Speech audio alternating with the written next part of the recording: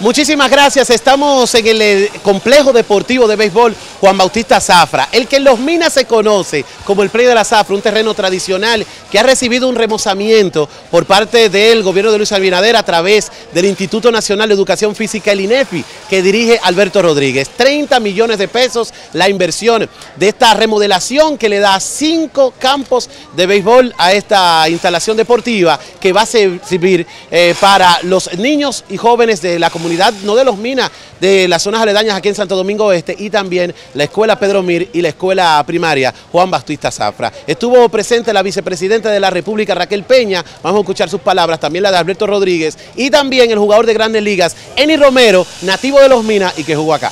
Y vemos que para aquellos que nosotros, como yo, como doña Norma, como todos los que estamos aquí, vemos cómo el deporte realmente es una herramienta poderosa para poder promover no solamente la salud física, sino también la, salud mental y poder cohesionar en la sociedad y ofrecer a cada uno de los jóvenes y de los niños pues ese lugar de entrenamiento, ese lugar de ocio, pero ese lugar sobre todo sano. Señoras y señores, es un honor y un privilegio estar aquí hoy para inaugurar el complejo deportivo Juan Bautista Zafra, una obra de gran envergadura que representa un hito significativo en el deporte escolar en nuestro país.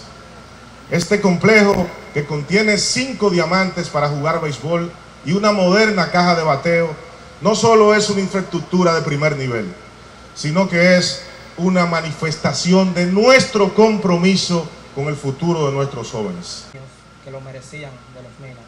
Yo practiqué aquí, jugué y salí de los Minas. Eh, eh, señora Norma Díaz, ya tiene su play para esos niños que usted tanto bendecía.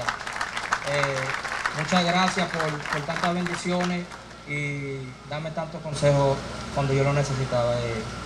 Don Héctor Díaz, muchas gracias. Usted sabe que lo quiero como un padre y niños, disfruten este estadio que el presidente Luis le ha regalado.